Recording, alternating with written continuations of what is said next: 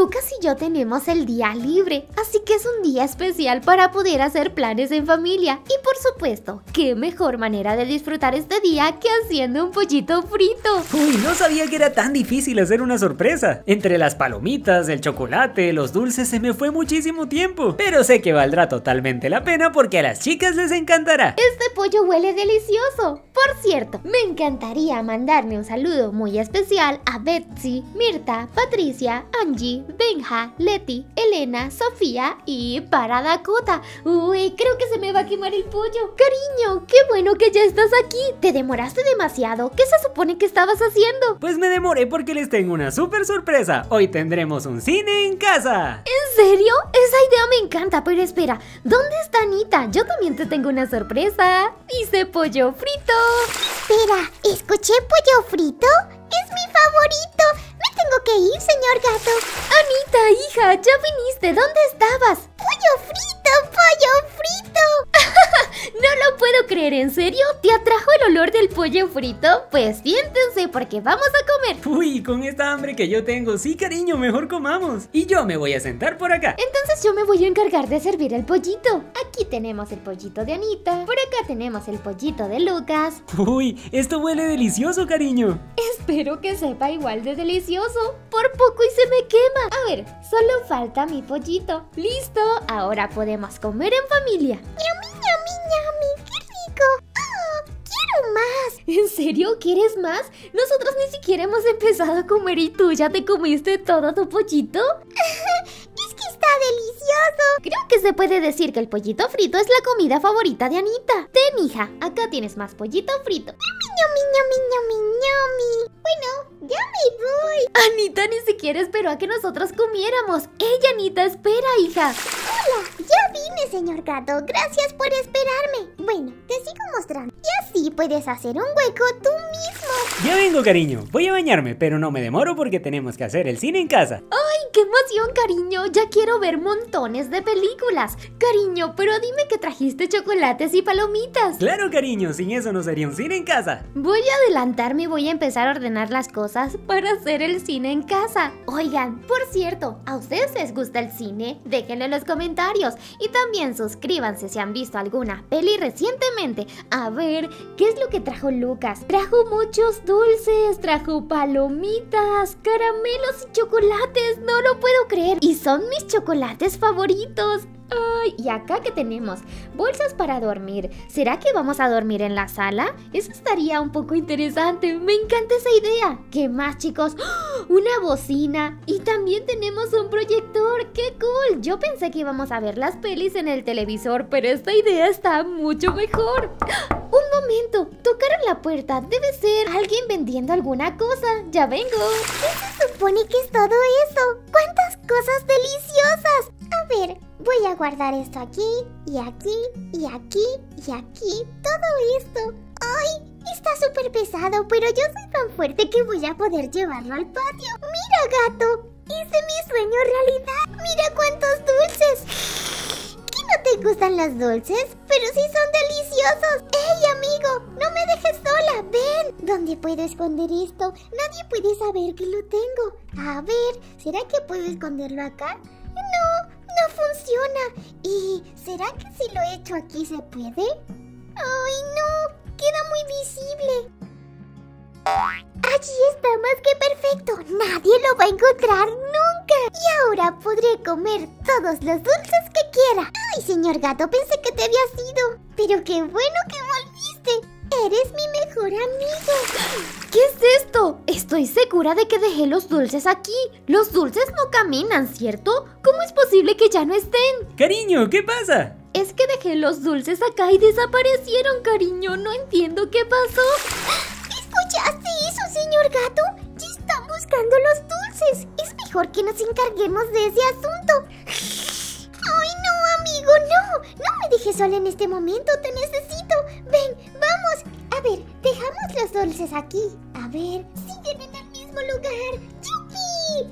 Vamos a comerlos. Voy a sacar uno y luego me voy a comer unas palomitas y otras palomitas y... Esto no me lo puedo comer porque es una caja. Me voy a comer todas las palomitas porque, ¿saben qué? Están deliciosas. Mamá y papá nunca me dejan comer tantos dulces y no sé por qué si son tan deliciosos. Vamos a probarlo a ver qué tal está. Don Gato, por cierto, ¿tú quieres algún dulce? Ah, es cierto, a ti solo te gusta el atún. Bueno, yo sí me lo voy a comer. Ñumi, ñumi. Unos cuantos dulces después. Ay, creo que comí demasiado. Mi pancita duele. Ay, no. Señor gato, ayúdame. Ay, duele mucho la panza. Es que no lo puedo creer. No están en la cocina, no están en la sala, no tiene ni sentido que no estén en la habitación. ¿Qué se supone que vamos a hacer, cariño? ¿Será que salimos a comprar los dulces de nuevo? No quiero que se arruine el cine en casa. Realmente quería ver muchas pelis. Este es el único lugar que me falta por revisar, el patio. Pero, ¿por qué estarían los dulces en el patio? Vamos a revisar acá. No lo puedo creer, están solo los empaques. Todo está vacío. ¿Qué es esto? ¿Quién se comió estos dulces? Ay, no, señor gato. Creo que ya nos descubrieron. ¿Fuiste tú, señor gato? ¿En serio te comiste todos estos dulces? ¿Pero por qué? A ti solo te gusta el atún. Miau. Esa es una buena idea. Sí, claro. Ya vengo. Mamá, fue el señor gato que se comió todos esos dulces. Yo lo vi. Ajá. Es así como te estoy diciendo.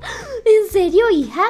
Señor gato, ¿qué hiciste? Ahora vamos a tener que comprar todos estos dulces de nuevo, porque si no, nuestra noche de pelis va a estar arruinada. Es cierto, mamá. Hay que comprar todos esos dulces nuevamente. ¡Ay, mi pancita duele!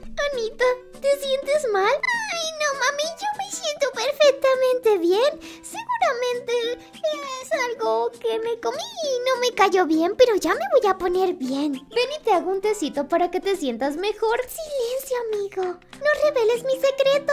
A ver, pequeña, siéntate por aquí. Te voy a hacer tu super tecito para que tu pancita ya no te duela. Pero que ese tecito sea milagroso. Mira, por aquí está. Tómatelo todo. Esto huele terrible. ¿Qué se supone que tiene? ¡Ay, no puede ser! Lo voy a probar. No puede ser, Anita, ¿estás bien?